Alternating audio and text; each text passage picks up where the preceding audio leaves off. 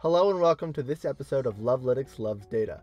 We are going to be talking about viewing subsets of data, using context and rank with them, and how to best visualize it inside Tableau. My name is Michael Werner, and I'm a Tableau trainer here at Lovelytics. Let's get started. So I have a data set containing stats from a Little League Baseball season, information about each team name, player, their position, batting average, and their total runs for the season. Now my goal when analyzing this data set is to find out who my all-stars are at each position. I can put them all together and create an all-star team. Maybe we can go win the Little League World Series. I'm going to start by bringing position and name onto rows and runs from measures onto columns and also onto label, sorted descending to place the highest values at the top. This gives me each player's run total for the season along with a little more context about them. Now I will create a filter off of my position field viewed as a single value list from my drop down menu. So I can click through and see specific positions one at a time. Next, in order to find out who my all-star players are, I'm going to pull another instance of name onto my filters, find the top tab on the far right, and tell Tableau that I'm filtering by field for my top two by the sum of runs.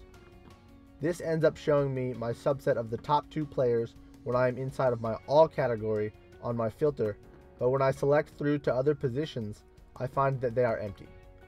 Only the third baseman position has the two players and their run totals shown. In order to see the top two in each position, I simply have to right click on position in the filter and select add to context. This tells Tableau, according to its order of operations, to execute the position filter before any other filter, assuring that we are shown the subset of the top two run scorers in each and every position when we change between positions on our filter.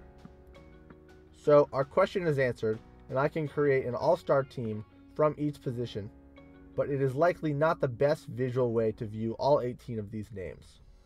I would prefer to give my end user one view that does not require a filter.